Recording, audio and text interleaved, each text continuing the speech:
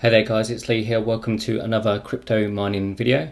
So in this video we're going to be taking a look at a new uh, or revised version of a Ethereum miner uh, by Genoil. Um, the new updated version uh, released today is 1.07 at 1.0.7. Uh, that's a new version. Um, so this is supposed to have a, um, a couple of um, uh, performance improvements. So it should be a little bit fast on your CUDA cards or your OpenCL cards. So that covers um, obviously the NVIDIA and AMD cards, and you should see uh, a slight performance improvement in both of those.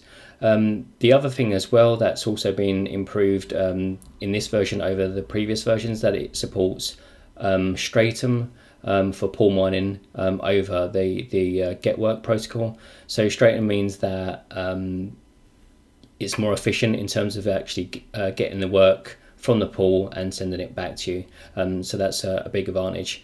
Um, also, this miner as well um, over previous versions also has a uh, failover function. So if you're mining on a pool and the pool goes down or gets um, attacked or something like that, gets like a, a, denial of service attack and the pool goes down, um, this allows you to have a failover pool. So you can basically set um, uh, multiple pools in there. So if one goes down, then you've got like a backup pool. Um, that's the point that I'm uh, trying to get at. So it's quite useful, and the pools um, can go up and down quite commonly. Um, recently, I was mining on the uh, Ethereum pool, and then it just completely um, uh, crapped out for like a day to two days. Um, so you don't want that kind of thing because if you don't have access to your miners um, or you're not aware of it, you'll basically be left not earning any coins. So the, yeah, the failover pool is quite a cool feature. So recently been I've been using the Genoil 1.06 uh, version and that's been working fine. Um, and today I'm just going to show you the 1.07. So I've just um, downloaded it and it's just going to run it from my actual um, downloads folder. Um, so this is the inside of what the, the zip file looks like. What I'm going to do is I'm just going to go to my original um, ETH miner folder and I'm just going to copy across um, the batch file for Ethereum mining at the uh, Dwarf pool. So let's just um, open that and just have a quick look inside. So we've just got the ETH miner dash G, which um, by default it's for OpenCL mining. Then we've got the pool, um, Ethereum address and worker details, and then just pause underneath it in case it crashes, it will just catch it and um, keep the window open. Uh, I'll just have a look at see how it shows um, the Ethereum mining um, sorry, this Stratum setup. So let's just have a look. That we just got a warning say don't run it. We want to run it. Um, and just comparing the the Stratum setup. So it's just um, pretty much uh, the same. Um, so this is just a switch for the Stratum, and then you have like your Stratum address as opposed to the uh, the GetWork address, um, and that's a just a CUDA configuration. Uh, with the actual, so this one will be um, Stratum plus a failover. So you've got the first pull here, and then we've got this uh, FS switch, and then we've got this, uh, yeah, is that right? Yeah, failover pull and failover details.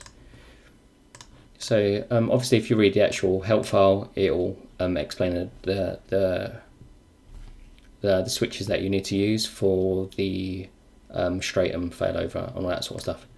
So, um, did I already copy my batch file? I did. So let's fire it up and we'll see. Actually, let me show you.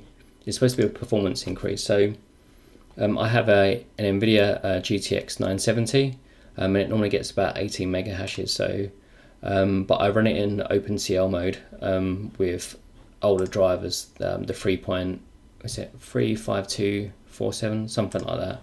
Um, actually, I'll just check and I'll show you. I've been using these ones for quite a while now. That I've stopped the uh, uh, 347.52. So that's the um, the NVIDIA drivers that I'm using. So uh, let's fire up the uh, the ETH miner uh, 1.0.6. Um, and you can see it sort of fired up fairly quickly and it's just touching about up to about 18 or just over 18 maybe and because it refreshes so quickly it's difficult to judge exactly what it is but I'd say it's um, just about 18 uh, so let's close that and then we'll try the, uh, the newer version and see whether there's any obvious difference. So uh, Ethereum pool. Okay, um, this is actually quite good to know. Um, if you get this error, um, it's because um, this is a uh, like a Windows, what's it like a Visual Basic um, component, um, and it kind and it's missing. Um, but you can just um, copy it from one of your other ETH miner folders. It's in one of my other previous uh, downloads as well. I think it's quite easily available. So this file here, this MSVCP uh, 120, uh, you can just copy it from the other folder. So just um, acknowledge the um, the error message, and then uh, we'll just close that window. Um, so we're just going to copy it from that folder. I'm just going to copy it into this folder, um, and then we'll just try again.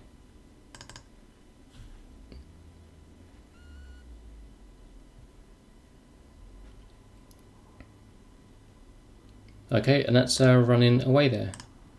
Close those other windows. So it does look a little bit faster. I'm seeing a lot more 18s, um, 19s.